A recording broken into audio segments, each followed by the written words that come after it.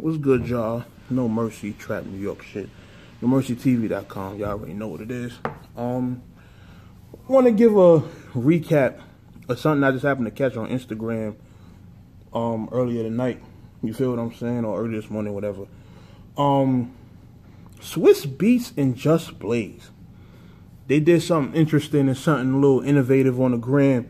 You know what I mean? They um, I don't know who crib they was in but um, I think it was Swizz. No, it might have been Just Crib. Um, they set up the machines and everything, and these niggas had a full out, like an all out beat battle. You understand? Like they was playing hits, they was playing exclusive shit. Like they was playing all sorts of shit, and the shit was like crazy. Like just the whole environment. Like it's a small room setting. You know, only close friends and family there. Um as far as the Instagram live, everybody was tuned in. Like I was seeing people like I seen Tahiri, I seen T.I., Meek, I seen Murda Mook, I seen Timbaland.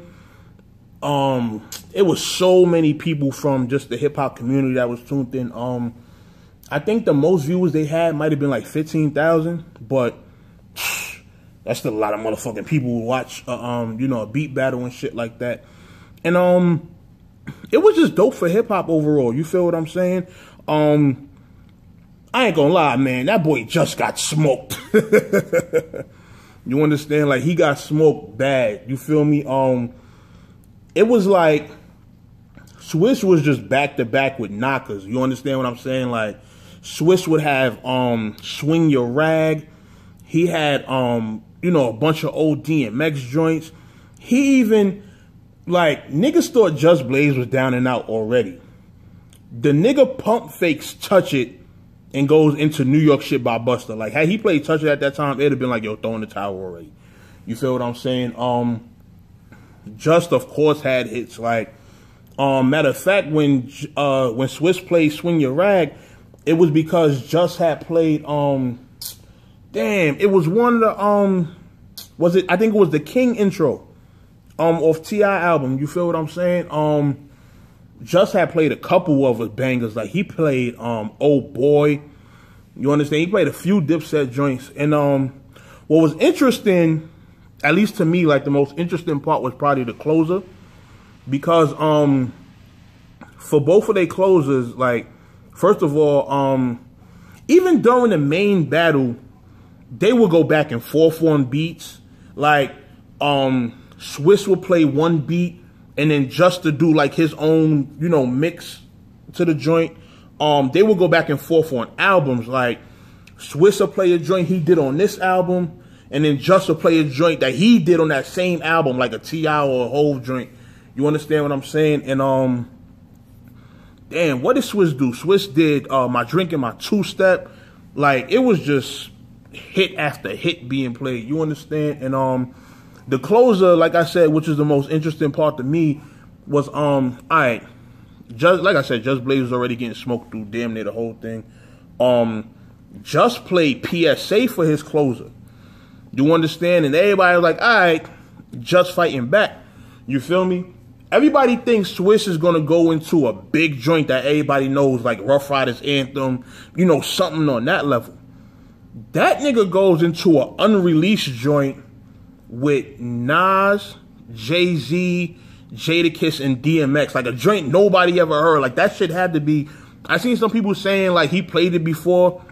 Um, it was probably from like 2012, but the shit sounds like a completed track right now. Like I hope that shit get released sooner or later. You feel what I'm saying? But um, at the end of it, you know, they were showing each other mad love, mad respect, and um, they was just saying how they kept all of the media outlets out of it. You understand what I'm saying? Like they planned it.